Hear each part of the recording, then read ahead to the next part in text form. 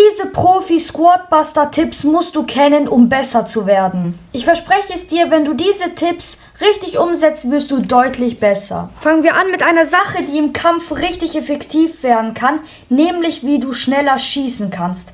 Du hältst dieses blaue Button rechts gedrückt, das, genau das hältst du und bleibst stehen. So kannst du deutlich schneller schießen. Die nächste Sache, um mehr Runden zu gewinnen, ist, spielt nicht so offensiv. Ja, sogar ich spiele nicht so offensiv und habe nach einem Tag schon richtig gute Prozesse gemacht.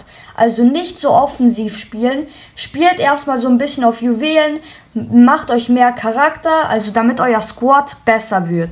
Das heißt auch, dass ihr viele Kämpfe vermeiden solltet, denn es kann dazu führen natürlich, dass ihr sterben werdet und das ist nicht so gut. Goldbäume. Hört sich basic an, aber hört mir mal zu. Goldbäume sind so eine wichtige Sache und die müsst ihr einfach mitnehmen. Nämlich könnt ihr die goldenen Bäume mit dem Greg sozusagen abfällen und das bringt euch einiges Gutes. Coins sind auch wichtig. Nämlich brauchst du einfach viele Coins, deswegen mach's, sei nicht faul, sondern geh einfach Coins farmen, damit du einfach schneller neue Truppen sozusagen auswählen kannst. Und ja, jetzt kommt auch was richtig krasses, was euch richtig dolle helfen wird. Nämlich kannst du einfach deine Bombe bewegen. Im Hintergrund siehst du es, wie das geht.